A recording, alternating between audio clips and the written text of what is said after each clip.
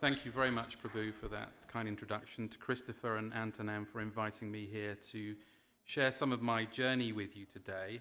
Um, I want to begin just by reading um, an extract from Professor Wood's paper. In terms of behavior, ethics begin at the first cry of human suffering, at the point where one finds oneself facing another person. It prevents us from being indifferent to the suffering of others a fortiori if we ourselves have caused it. That theme will be running through my presentation. Um, and I would also say that many of the themes that have been picked up this morning um, are also going to resonate in my presentation, which I rewrote last night, having absorbed some of the energy and the themes in the conference. And I promise you, for example, that uh, George Kohlreiser and I have not con- contrived and conspired to come up with pretty much the same sort of messages. I'm going to start off with um, money. This is a £20 note sterling. It has Liz's face on the front here.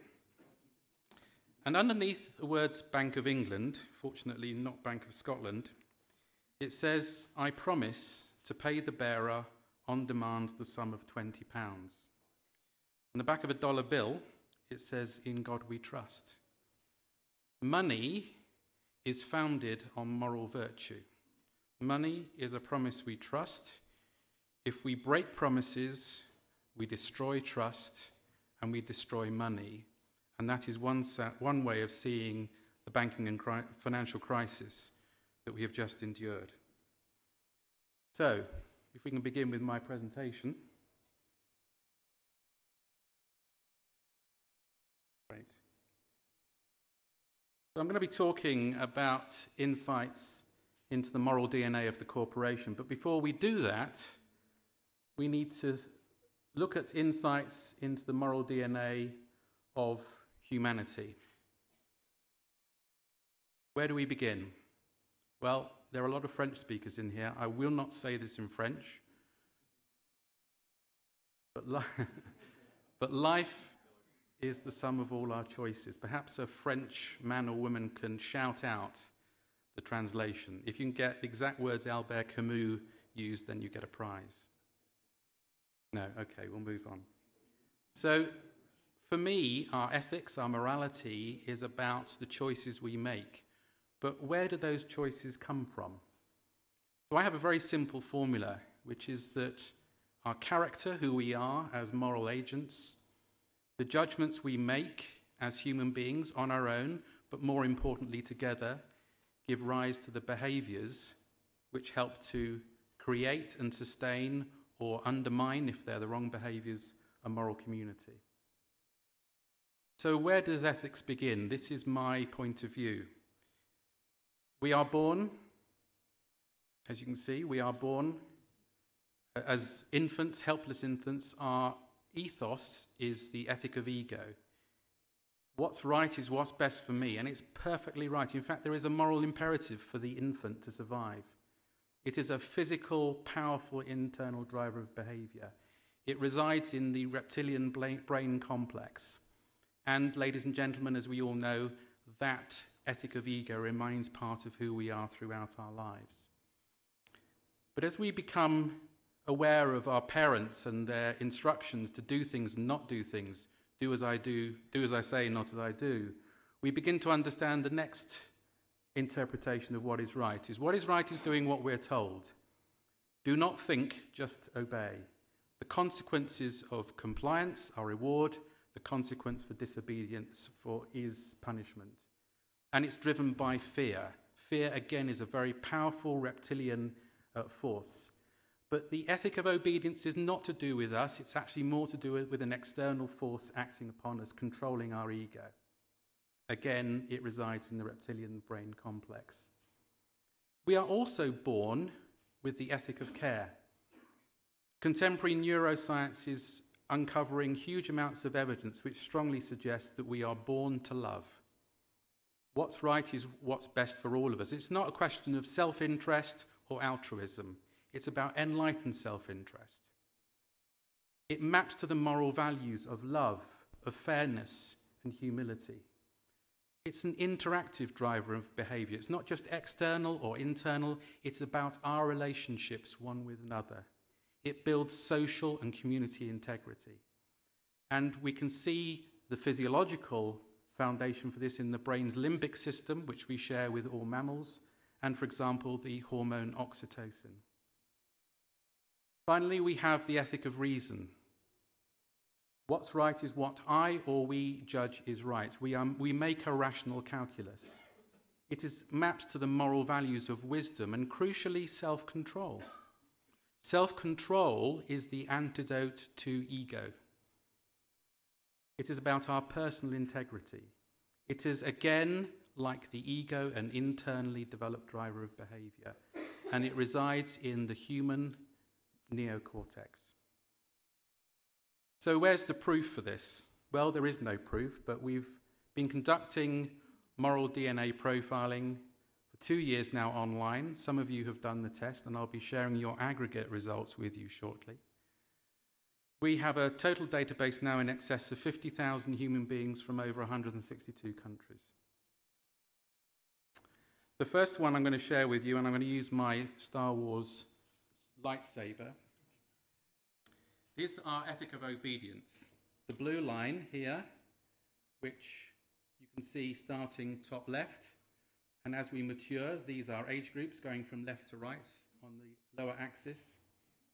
And you can see our ethic of obedience is in retreat throughout our lives. I don't have time to talk about what happens when we get into our 60s. At the same time, the ethic of reason is becoming more and more dominant. Statistically speaking, it is an inverse correlation, ladies and gentlemen. To believe that we can actually change grown up human behavior with more legislation, more regulation, has no foundation in science or psychology. If you tell people what to do, they stop working it out for themselves. In the corporation, in government, in any workplace institution, you will see people making this argument. If the rules do not say this is wrong, therefore it is right. If the rules do not say this is wrong, therefore it is right and we get the obscenities of things like retailing groups believing it's okay to sell pole dancing kits to young girls as old as six and seven years old at Christmas because it's not illegal. And you can see the ethic of care, which is that red line running through the middle, the red thread. It barely increases throughout our lifetime. That is the ethic of care. Now, there's a gender difference as well. So, age is a factor, gender is a factor. You can guess, I imagine, the difference in genders. On the left, we have Exhibit A, men. On the right, we have Exhibit B, women. There is a significant difference on the ethic of care. This is what, in statistical terms, we call, excuse my French, the bleeding obvious.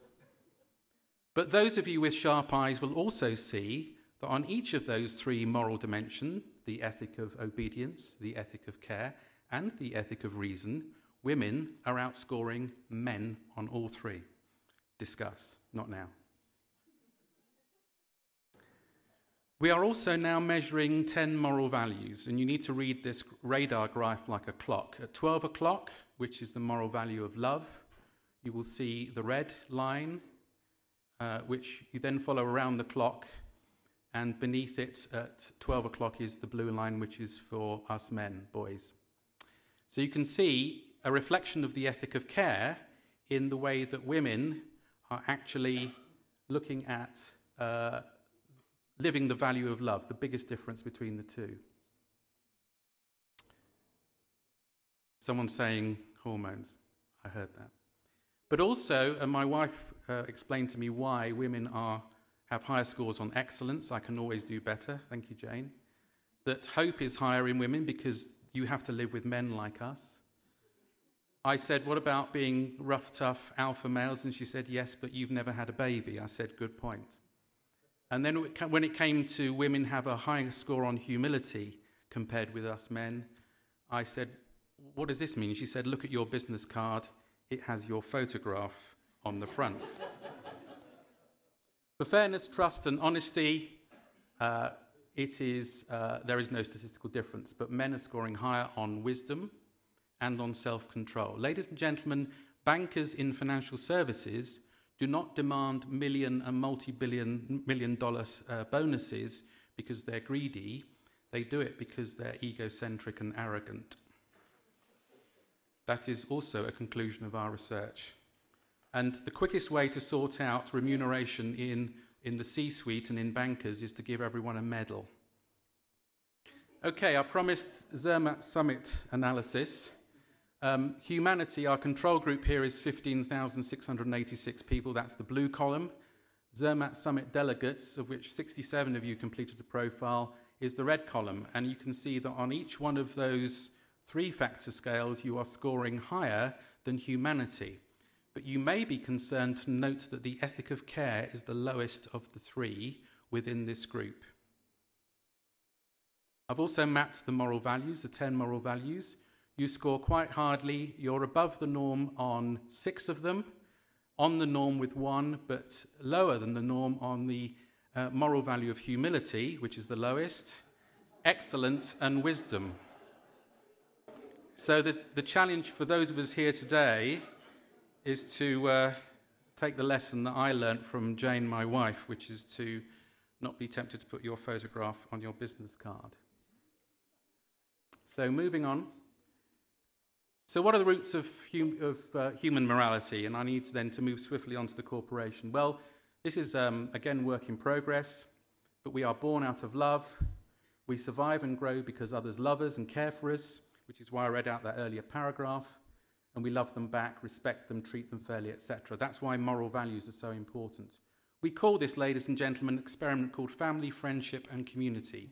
It's only been going for at least 15,000 years, so maybe jury's out on it. We reinforce our sense of family, friendship, and community through social learning and social decision making. We call social learning and social decision making religion, education, politics, and culture. So, insights into the moral DNA of the corporation. Oh dear. Uh, this is a, a, graph you can't read in detail, but I'm very happy to share this with you. I've just summarized if you look on the right side of the graph, that is where we have the highest aggregate scores on moral DNA. And not surprisingly, we see a focus and a concentration of caring professions and occupations. The highest scoring occupation is homemaker, not a builder, homemaker, motherhood, parenthood. In the middle is the raft of consumer businesses delivering goods and services to us. Banks, by the way, come right in the middle. We do get the banks we deserve. But at the bottom of the class are those occupations where machines are more important than people. So we see heavy industry, utilities, technology. We also measure leadership. Here again are our 10 moral values. I'm not going to go through all of them. You may notice that two of them, as we're going through the corporation on the left hand side, a level one employees, moving to the right with the level five board. Two, moral values are in serious decline as we move up the greasy pole of the corporate ladder, mixing metaphors there. The two in decline are humility, no surprise there. The other one is love. So, do you recognize any of these characteristics in the corporation? Callous unconcern for the feelings of others, incapacity to experience uh, enduring relationships, regard, reckless disregard for the safety of others, deceitfulness, repi- repeated lying and conning others for profit, incapacity to experience guilt, failure to conform to social norms with respect to lawful behaviours. We see those behaviours throughout the corporation. Ladies and gentlemen, that's an extract from the World Health Organization diagnosis for psychopathy.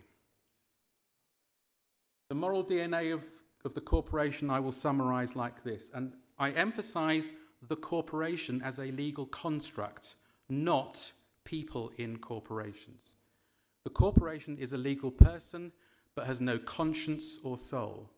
Directors have legal obligations to the company but not to any human, group, or individual.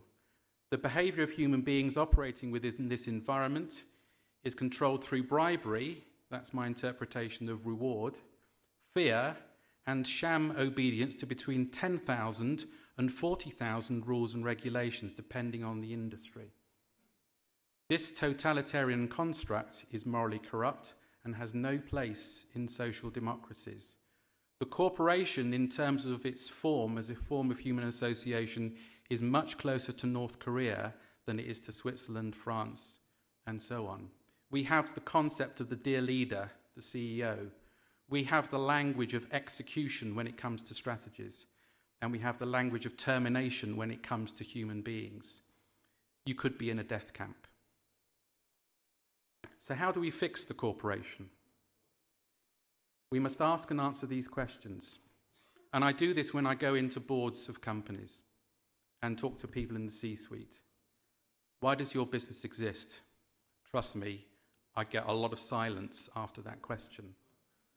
The second question is Is your business a human community of belonging that customers, investors, employees, and society all truly love? How can your business sustain its economic purpose without being a human community of belonging, a safe place of belonging? And are you bringing your humanity to work? Are you, as individuals, bringing your humanity to work? And therefore, do you have integrity? The proposition there, ladies and gentlemen, if, if you do not bring your wholesome humanity to work, you do not de facto have integrity. You are not whole or complete. I am privileged to work with some amazing individuals in leadership roles in lots of corporations. I'm very privileged to work with a senior leader at HSBC Bank. I have permission to talk in very broad terms about the work we're doing together. It is the only UK listed bank to recapitalise with a vanilla rights issue post crisis. It didn't need to be bailed out by taxpayers or by certain dodgy sovereign wealth funds. It is the only UK bank to say publicly last week that ring fencing the retail bank from the investment bank is actually a good idea. It is the first UK bank to begin an ethics program for its leaders that is founded on the proposition that unless we bring humanity to work, we do not have integrity. This program is called Lead with Courageous Integrity. Stuart Gulliver, the new group CEO, has talked about it openly in the Financial Times. We are currently putting 8,000 leaders in the UK through a two day program to discover the human within them. I'm going to finish with an appeal. The appeal is for you to help me write a book, my next book, which is called The Power of Love in Business How to Get Your Humanity to Work. What I would like is anyone here, or if you know anyone who has love stories in business or at work which shows how people have brought their humanity to work for the benefit of the common and greater good. 800 to 1200 words would be about right, and there's an email address for you to send it to. So please help me help people bring their humanity to work. And I believe, and I've seen it, it's already making a difference. That is the end of my presentation.